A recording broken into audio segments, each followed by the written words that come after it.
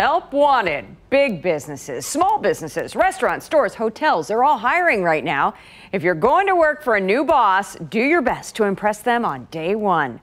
KCTV5's Neal Jones knows a thing or two about buttering up the boss. Here's tonight's top five.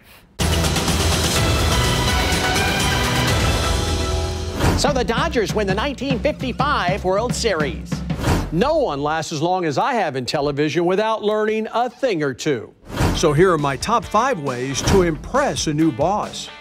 Number five, make a splash. In TV, that means coming up with a big interview, like when Gayle King sat down with R. Kelly. Y'all killing me with this.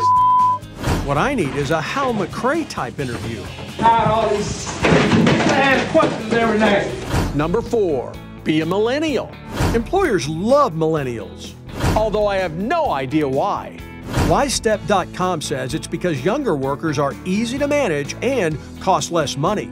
My advice, and I give it for free, is to lie about your age. Number three, work in your family business. Some of the most successful people I've known worked for mom and dad. They can wreck their company car, run up huge bills on their company credit card, and still move up the ladder.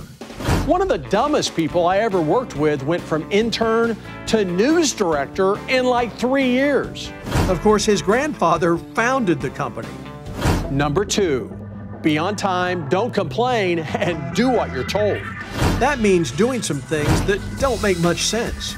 Come on, Neal. Give me more smile. Come on. Now point. Yep. Turn a little bit more. Yep, more. Neal, give me more. Point the camera. Of course, if they're taking promo pictures of me, it's probably a good sign. And the number one way to impress your boss, make an effort. Do.com says that effort's more important than talent. That's why I showed my effort when we hired a new general manager during the pandemic. I showed up outside his window to say hello. Hey, Charlie, I'm down here. At least I made a good impression. Idiot. Now, we've had an interim boss the last several weeks, so I really haven't had a chance to make an impression on him. No, I've already decided I really don't like you. But our new news director is moving to Kansas City in the next couple of weeks. And I've asked the folks at a local theater to send her a welcoming message. I'm Neal Jones, and that's tonight's Top 5.